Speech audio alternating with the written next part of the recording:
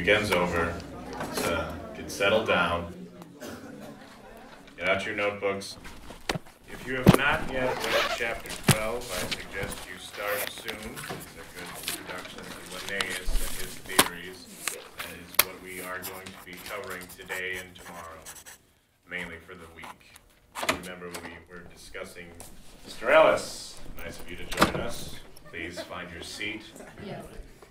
For the weekend, we were discussing Linnaean taxonomy with respect to phylogenetics. This is the classification system in which all organisms are, well, classified.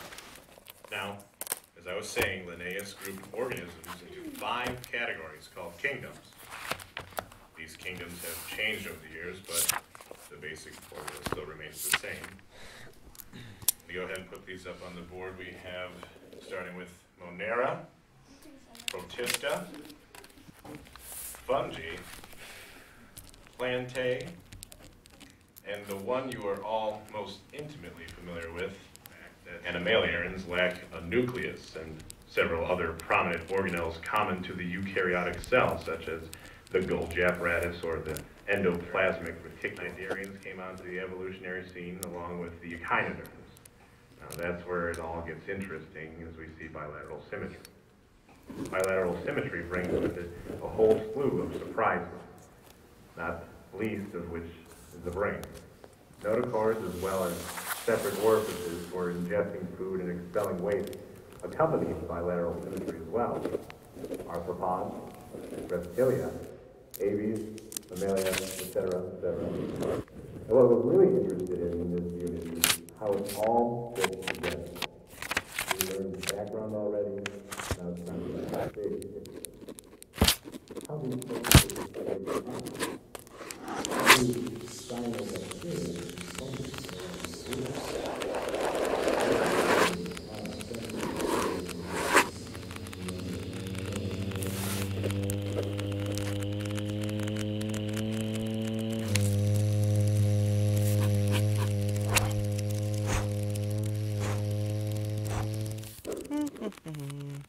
the big picture.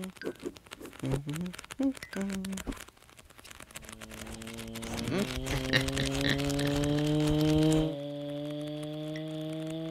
Huh? Uh,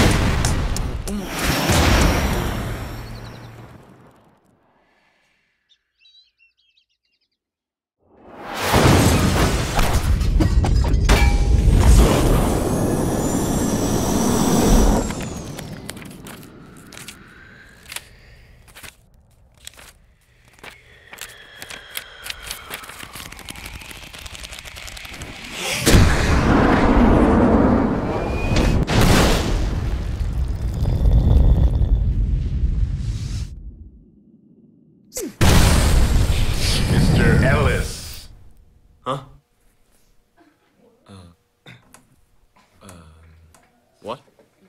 The term, Mr. Ellis, what is the term that I am looking for?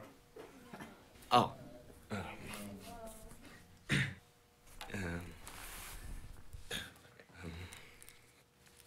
eto, uh, etoecology?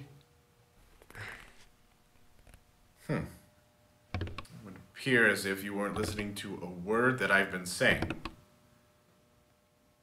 But apparently that is not the case. Yes, etoecology is the correct answer. Very good, Mr. Ellis. It is also referred to as behavioral ecology. Now, if an organism has a trait which provides them with a selective advantage in new environment,